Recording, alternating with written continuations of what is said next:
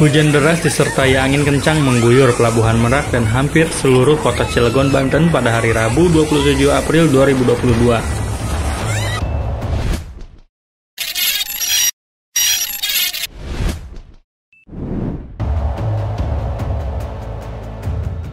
Sejumlah tenda di pelabuhan dilaporkan ambruk diterpa angin kencang.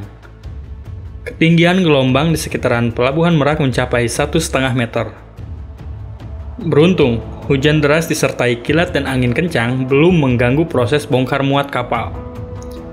Berdasarkan pantauan anggota Basarnas Banten ke dermaga di Pelabuhan Merak, truk hingga kendaraan pemudik masih terus berdatangan. Fauzan mengimbau agar pemudik selalu mengutamakan keselamatan selama di perjalanan menuju kampung halaman untuk bertemu sanak keluarga.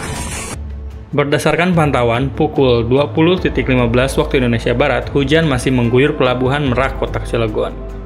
Suara gemuruh masih terdengar dan sambaran kilat masih terlihat.